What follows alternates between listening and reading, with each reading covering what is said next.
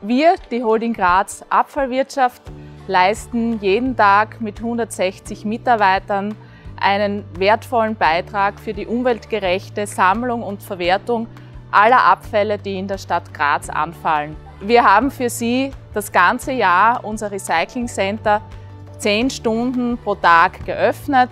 Dort können Sie alle Ihre Abfälle wie zum Beispiel Sperrmüll, Bauschutt, Grünschnitt, aber auch Elektroaltgeräte, Problemstoffe, Verpackungsabfälle abgeben.